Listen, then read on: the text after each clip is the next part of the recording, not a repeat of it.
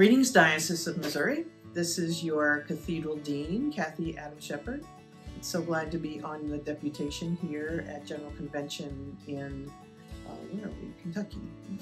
So glad to be here in Louisville. This morning, one of the things that happened to me was one of the things I was looking forward to um, being here, and that is running into people I know from 40 something years of ministry uh, in various dioceses. And I ran into my former bishop from the Diocese of Connecticut, Bishop Ian Douglas. And he was one of the first three bishops to form Bishops United Against Gun Violence. And he did that directly uh, as a result of the Sandy Hook uh, tragedy in 2012.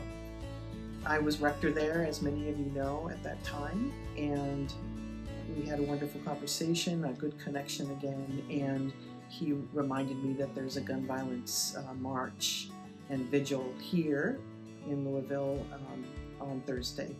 So if you have a chance to watch online, you can do that and join us. It would be great. Go to the General Convention site and join us.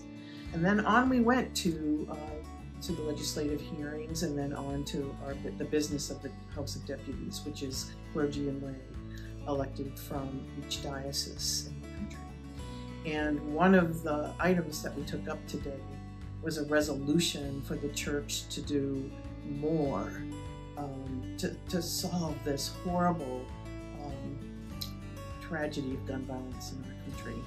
And several people got up to speak about that, and one person in particular um, works in a school where several students were killed recently uh, with, by another student with a gun.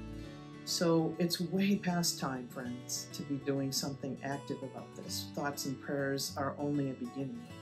And what we need to do is do more work on who we vote for and understand not only the, you know, some of the big things uh, in Missouri that we're interested in, in in elections, but also what is that legislator going to vote, how they're going to vote when when these gun violence issues come up again. It's time to solve this. This is the number one killer of children and youth in our country and no other country. So it's, it's time for us to do more. Take our prayers and our thoughts to the voting booth um, and to any place else we can affect this change. It's been a joy to be with the deputation from Missouri, uh, all wonderful people, lots of work to do what we're doing, so proud of them and glad to be here. So take care. We'll see you soon.